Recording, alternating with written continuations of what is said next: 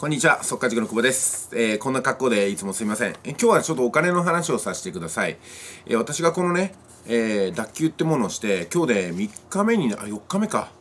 脱臼したのがあ9月8日ですからね。8、9、10、11、そうですね、4日目になったわけなんですよ。じゃあ、この4日間で私がこの格好でね、えー、動画を撮影してから何が起きたのかというねレポートが今出ました。こういうふうにちょっと細かくは見せられません。すいません。これ何のレポートかっていうと実はね あのー、2つのネタが入ってるんですよ。それはお見舞い金が視聴者さんから届いてます。で銀行口座がねこうやって並んでるわけなんですけどもえっ、ー、と金額ちょっと言えませんけどすいません。えっ、と1万円から5万円の間で7名の方から届いてます。こんなことをしていただかなくても本当よろしいんですけどもね、本当にすいません。えー、ちょっとこれはね、療養費に使わせていただく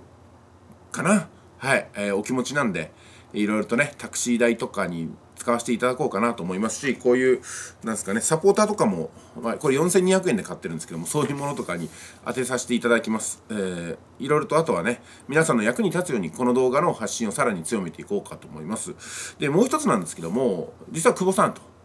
保険に入ってるじゃないですかっていうふうにして私のねえーと、保険の担当者さんからあのお二人の方からねこの主張されてたみたいなんですけどご連絡いただきました、えーと、私はね保険に付き合いで何件か入ってるんですけども基本的に入院したり怪我したりとかねそんな必要ことはないだろうなと思うのとまあ自前のお金もあるんで特に保険に今はねあの価値を感じてないんですよ。ただそうは言ってもお付き合いでね数千円みたいなのに2人ぐらい入ってたような気がします。その方から連絡があってこれはあ通院保険入院保険いずれも出ますよということなんですよね。で今度手術するって私宣言しますからその段取りもしてくれてるみたいなんですよ。手術だとやっぱりね何日間か入院することになる可能性もありますんでそれはあ診断の結果お医者さんと相談されて通院の手術にされるのかそれともねやっぱり入院を何日かされるのかを教えてくださいということでえっ、ー、とこれね思わずですけども自己太りするような結果になってしまいました。非常にねなんかお恥ずかしい話と言いますかね、えー、通常私こういうふうな YouTube とかで発信、えー、しない例もあると思うんですよ。怪我をした時とか自分のいい時は発信するけど悪い時ってあんまり発信しないそんなね、えー、いいとこだけ見せたような表現をされてる方もいると思うんですよ。うん、で私の場合はあのお店が閉まってね、えー、もうなんか全ての社員に離れていかれてお金もなくなっていった時も2015年ですけども発信してましたしあのいろいろとねなんかいい時ばっかりじゃなくて常に自分の今を切り取ってお見せしてるんですよね。まあ、その中で今回こんな怪我をしましたとかね、えー、すぐに治療手術を受けることにしましたとか中にはねあの名古屋で怪我をしたんですって言ったら名古屋にゆかりのある方が「あこれは久保さん名古屋にわざわざ来て怪我したなんて申し訳ないです」ということでね なんか入金くださる方もいて。いやその本当に気にしないでくださいね。気にしないでください。ただまあそれお気持ちなんでこれをお返ししたらさらに残念な気持ちになると私はね解釈しましたんで今回、えー、しっかりいただいて、えー、しっかりとねこの怪我の療養に使わせていただきますので本当にありがとうございます。ということでね、えー、吉谷さんえー、7名の方からお振り込みいただいて2名の方から保険の適用のねご案内をメールでいただきました。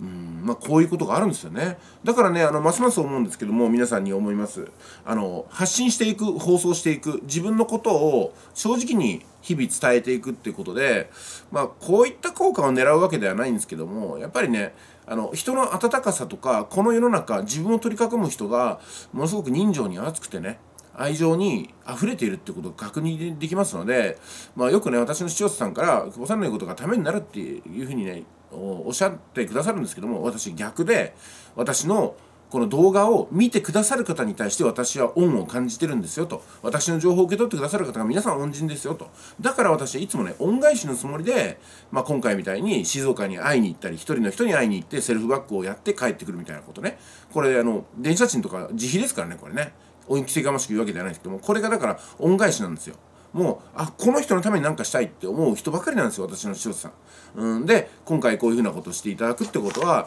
あの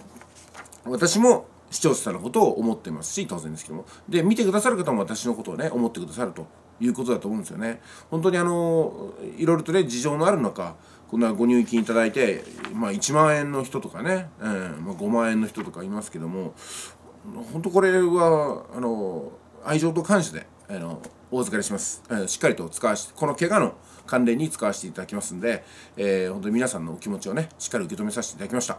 まあそんな形でね、えーまあ、吉田さんもいろいろあると思いますけども放送っていうのがねこういうことがあるからあの儲かるよってことではないんですよ。ないんですよ。そっちはねあのそうではないと。この熱い思いっていうかね心温まるエピソードのためにも私はね皆さんに発信していただきたいと思うんですよ。YouTube でなくてもいいんですよ。YouTube でなくてもいいと。ブログでもいいと。うんこのねソーシャルメディアでもいいんです、うん、やっぱり最近私がねずっと思ってるのはこの堀江貴文さんってテレビにあんまり出てないんですけどもテレビにすごい取り上げられるんですよ。それは堀江さんの SNS とか Twitter が取り上げられてテレビに出ていなくても出ているっていう感じになるんですよね。うんで、えー、他にもあの N 国党の立花さんとかね令和新選組の山本太郎さんとか甚だ一端でですねテレビメディアからは黙殺されてるんですけども SNS の力でそんなあの不利をねものともせずにのし上がってきてるわけですよ。すごいと思いますこれは。SNS だけを使ってね、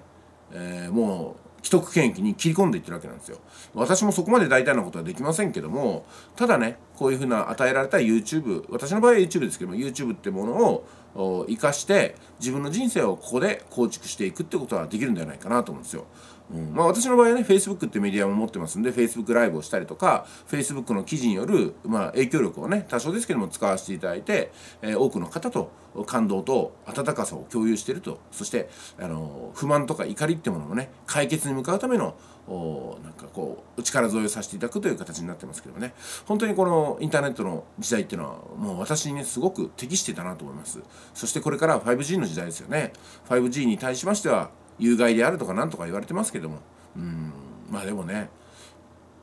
どうなんでしょうね。有害なんですかね。有害を有り余るうんこう公益があるんじゃないかなと思いますけどもね。